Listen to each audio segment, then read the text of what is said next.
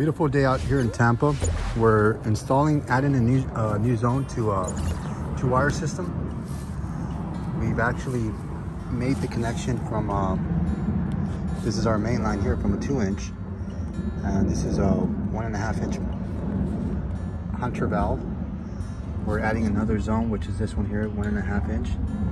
The one and a half inch uh, gives you 81 gallons per minute output. So we're we go we're going big with these zones. We're doing about 22 pop-ups per zone.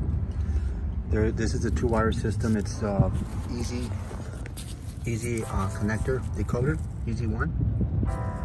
Uh, we're just adding on the 12 zone, which is this one here, and we're gonna connect this this uh, one and a half inch here. We put a main shut off in case the uh, like a separate um, main shut off for each zone. So let's say for instance this valve goes bad, you can always just disengage it from here, turn off the water, and then you can make a replacement without shutting the entire system. It's in a pump system. It's a three horsepower. We're gonna come from here, uh, one and a half inch, and we're gonna add this zone to the front of the property and I'll walk you through just to show you. So we'll have the, the one and a half inch installed there. Gonna come back this way and it's gonna, we're gonna run the one and a half inch pipe through here so we can get our 22 sprinklers on this zone. It'll come along all through here up to the end where you see uh, my, the other technicians working out there.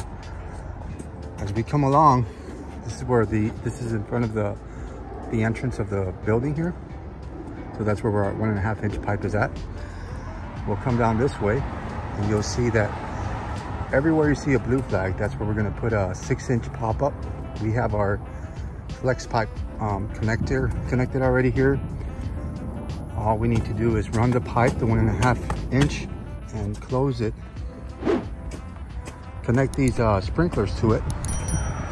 Everywhere you see a blue flag, that's where these pop-ups are going to be. There's a, uh, it'll go all the way down to the fence, which is all the way down there in that corner. We're going to do all pop-ups along the side of the fence, and then we're going to un go under water jet under the sidewalk. But that should cover this section, and that's what we're doing today with that extra zone.